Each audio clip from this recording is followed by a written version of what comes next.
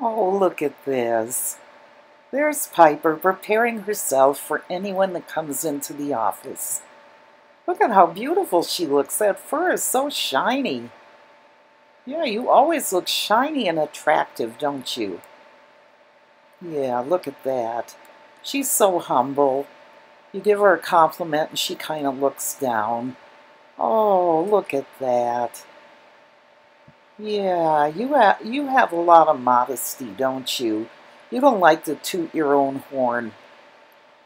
Look at that face. Oh, she's such a little sweetie. Yeah, she's just the perfect office manager. Anyone would feel welcome in an office with her sitting there.